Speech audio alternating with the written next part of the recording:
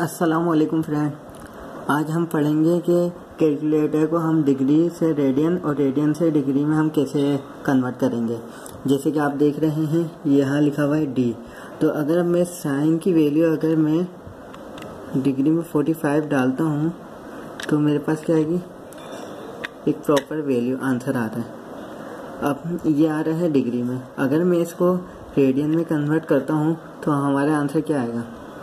Radian में convert करने का तरीका। शेफ मोड देखें डिग्री के लिए हमें थ्री करना है, जो कि हमारा डिग्री में कन्वर्ट होगा। अब हमारे को क्या रेडियन में क्या करना है? रेडियन में जाने के लिए हमारे को क्या करना होगा? फोर करना होगा।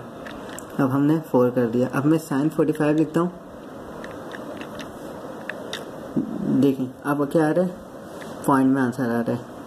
जो कि हमारा आंसर ये भी सही है, मगर ये किसमें आ रहा है? रेडियन में। देखें, इधर अब आर हो गया। बहुत बाद से बच्चे तब कैलकुलेटर में सॉल्व कर रहे थे कहते हैं कि आंसर सही नहीं आ रहा था क्योंकि फिर वो तब देखा कि ना उनके कैलकुलेटर में रेडियन में है या डिग्री में, उन्हें आंसर किसमें चाहिए? रेडियन में चाहिए होगा तो मैंने आपको तरीका बता दिया।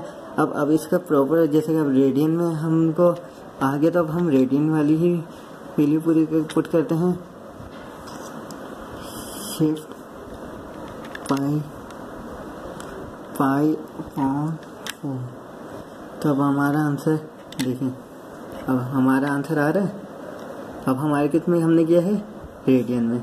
और यही अब हम, अब रेडियन से डिग्री में जाने के लिए अब हम क्या करेंगे? कुछ नहीं करेंगे, हम पहले शिफ्ट दबाएँगे, फिर हम मोड दबाएँगे। मोड के बाद हमें क्या, अभी हमने रेडियन में सोल्व किया, अब हम डिग्री में आएँगे। डिग्री के लिए हमें क्या प्रेस करना है? थ्री प्रेस किया अब मैं लिखता हूँ। साइन मैंने दबाया, पाई अपॉन फोर तो मेरा आंसर अब क्या रहा? है अब पॉइंट में आ रहा है। अब क्योंकि अब मुझे आंसर किसमें रखना चाहिए? डिग्री में। डिग्री में मतलब कि proper value forty sixty ninety proper value तो अब मैं साइन की फोर्टी फाइव रखूँगा।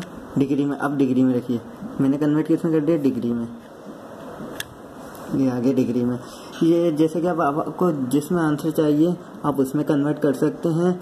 और इसके अलावा अगर आपको और कैलकुलेटर के हवाले से वीडियो मालूम आपको चाहिए तो आप हमें को कमेंट में बता सकते हैं। मैं उसके हिसाब से फिर आपकी वीडियो बना दूँगा। आज के लिए इतना ही। अल्लाह हाफिज़।